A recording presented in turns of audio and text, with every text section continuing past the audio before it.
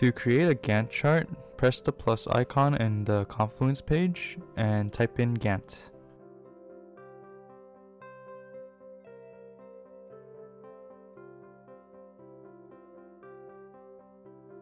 In the settings tab, you could set to show your week numbers and you could set your weekends and holidays as well. To start your Gantt chart, create some new tasks for your project and label them.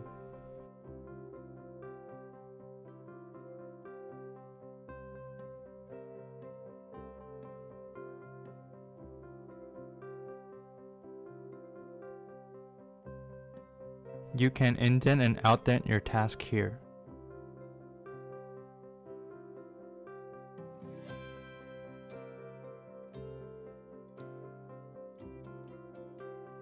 You can drag the slider on the chart to change the duration of the task, and you can also move it around to change the dates of your project.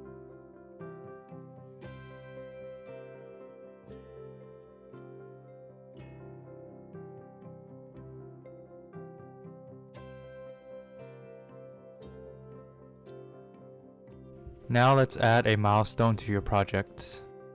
To create a milestone, create a new task and convert it into a new milestone.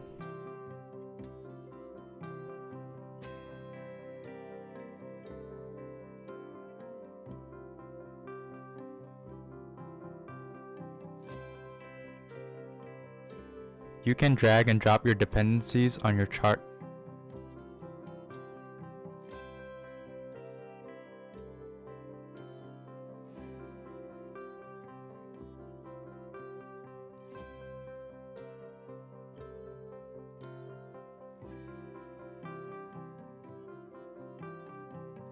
In the edit task section, there's sections such as general, predecessors, successors, advanced, and notes.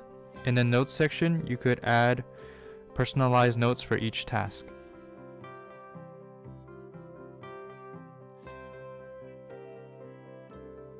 You can assign resources to your project by putting in the user and selecting the amount of units you want to allocate to that user.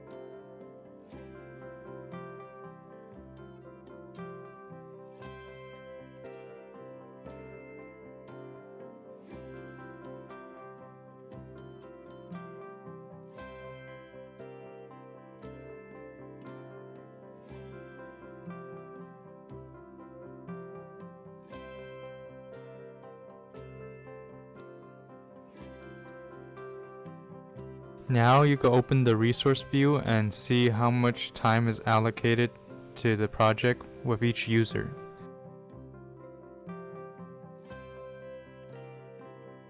You can see how much time is allocated to your project and if it goes over it will turn red.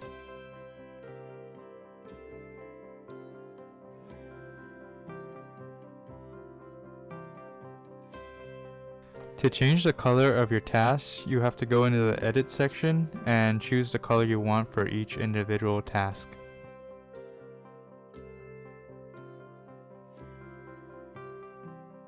Set the columns that you want for the project.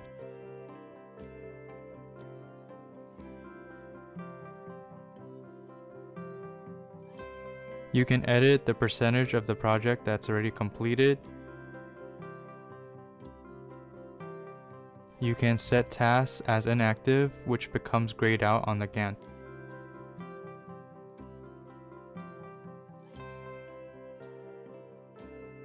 Gantt Chart Planner does not autosave.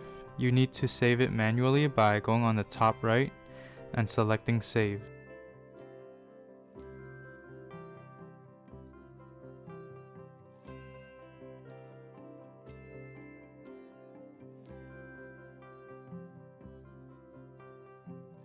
Finally, you could export your Gantt chart into a CSV format by checking both.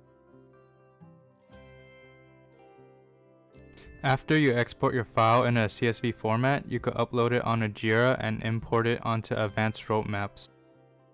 Gantt Chart Planner is available on the cloud. Check out the free trial on the Atlassian Marketplace for more information. Thank you.